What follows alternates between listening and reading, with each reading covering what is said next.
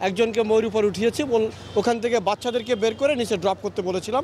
এভাবে আমরা পাঁচ ছজন বাচ্চাকে উদ্ধার করতে পেরেছিলাম তারা এই উন্ডো দিয়ে বের হয়েছিল। সিঁড়ির এখানে আগুনটা জ্বলছিল সবাই উপরে অবস্থান করতেছিল। বুঝতেও পারতেছিল না যে নিচে কি হচ্ছে আসলে। ফাইভ ফিট করবে ঠিক সে সময় দুঃখজনকভাবে আগুনটা এদিকে চলে আসলো এখানে খুব দ্রুত গতিতে। একটা সিলিন্ডার বাস্টের শব্দ শুনলাম শোনার সাথে সাথে পাঁচ সেকেন্ডের মধ্যে পুরো বিল্ডিং দাউ দাউ করে জ্বলা শুরু করল। বৃহস্পতিবার রাত নয়টা পঞ্চাশ মিনিট। রাজধানী ঢাকার বেইলি রোডের গ্রিন কেজি কটেজ, অর্থাৎ সাততলা এই ভবনটিতে ভয়াবহ যে অগ্নিকাণ্ডের ঘটনা ঘটেছিল, সেই অগ্নিকাণ্ডে ছেচল্লিশটি প্রাণ এখন পর্যন্ত ঝরে গিয়েছে।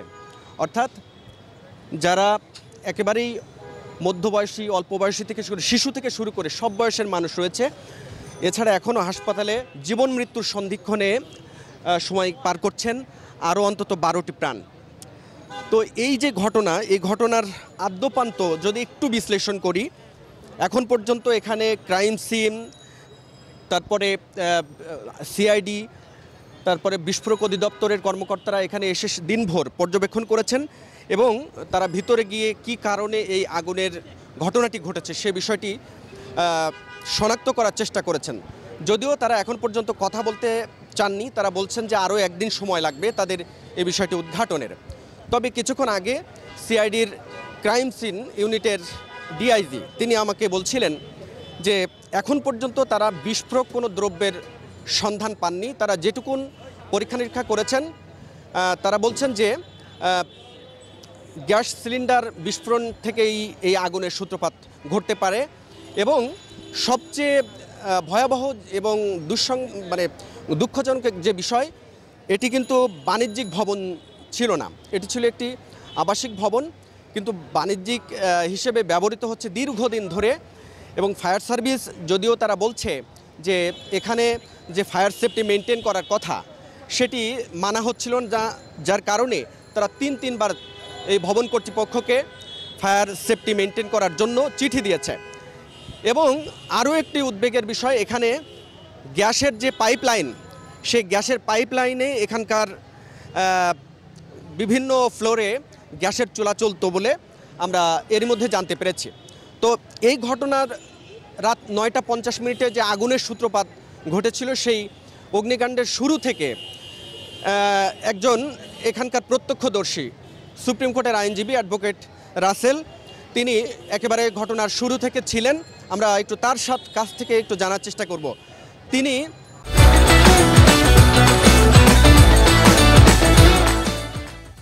এমনকি সোশ্যাল মিডিয়ায় লাইভেও দেখাচ্ছিলেন এবং তিনি অনেককে উদ্ধার করেছেন। সেই জীবন উদ্ধারকারী অ্যাডভোকেট রাসেলের সঙ্গে- সুপ্রিম কোর্টের আইনজীবী, তার সাথে একটু কথা বলব। রাসেল ভাই, আপনি তো আসলে প্রত্যক্ষদর্শী। কি দেখেছিলেন? কীভাবে ঘটনার কোথায় আগুনের সূত্রপাতটি হয়েছিল? এবং আপনিও তো এখানে প্রায় খেতে আসেন। এখানে নাম করা বেশ কয়েকটি রেস্টুরেন্ট রয়েছে, কাচ্চি ভাই সহ। সেখানে আপনিও খেতে আসেন। আসলে এই যে ঘটনাটি ঘটলো, কীভাবে আগুনের সূত্রপাত হলো, আপনি কীভাবে, কি দেখলেন এবং কাদেরকে কত, কতজনকে উদ্ধার করতে পেরেছেন আম- আমরা ওই বৃহস্পতিবার দিন উইকেন্ড, আমরা প্রতি উইকেন্ডেই বেলি রোডে সব ফ্যামিলিকে নিয়ে খেতে আসি।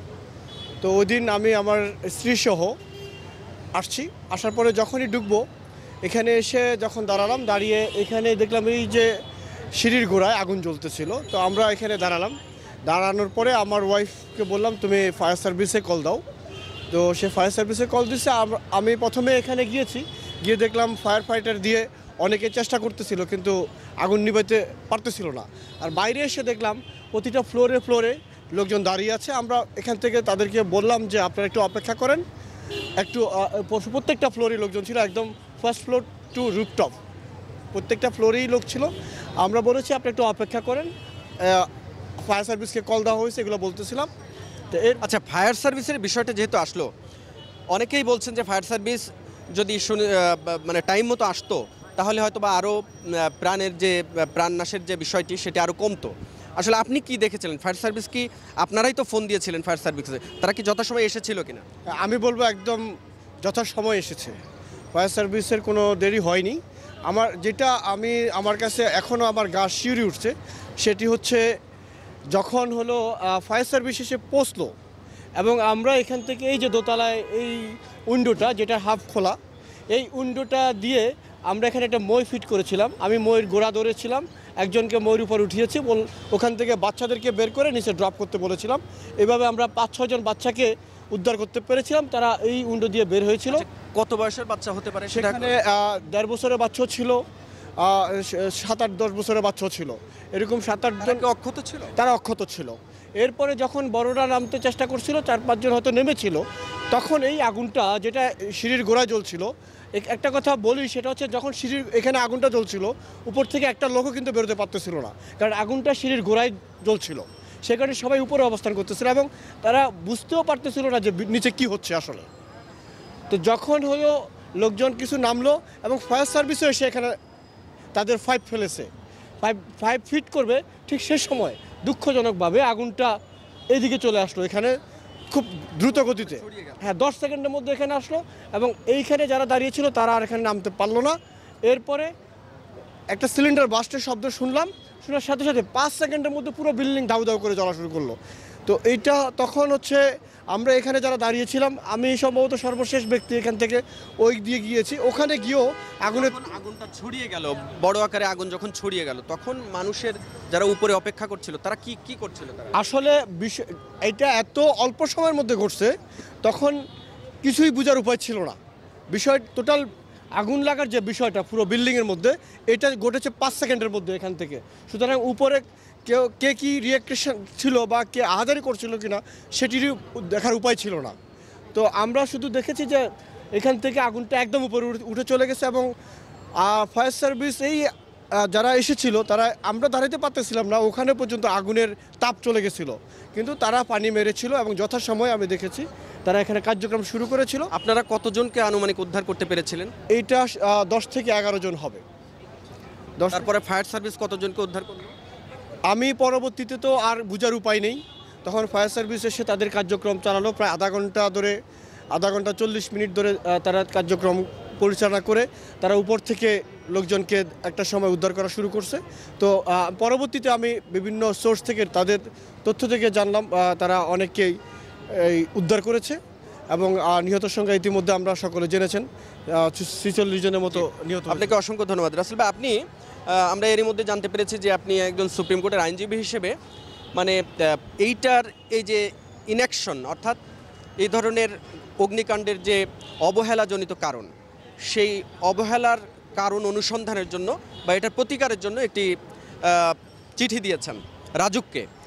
যেহেতু এটি রাজধানী কর্তৃপক্ষের দায়বদ্ধতা রয়েছে এই ভবনের যদি কোনো ধরনের অবহেলা থেকে থাকে, সেটিতে কি চেয়েছেন আপনি?